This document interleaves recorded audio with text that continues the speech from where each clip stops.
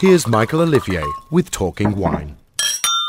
The Perdeberg Winery Simply Delicious range is so well known to so many people for offering great, great value for money. Little um, is known of the Reserve range, uh, which is their special range of wines, all of which have four to four and a half stars in the Platter Wine Guide, really much sought after. They're available from the winery and also um, at certain restaurants.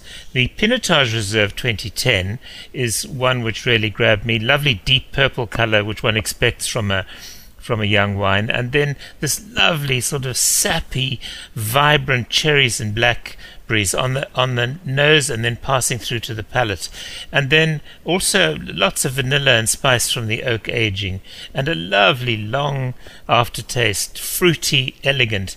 Um, the the grapes come from old bush uh, vines, and of course have been matured in in, in oak casks. It's the Pinotage Reserve from Perdeberg of the 2010 vintage.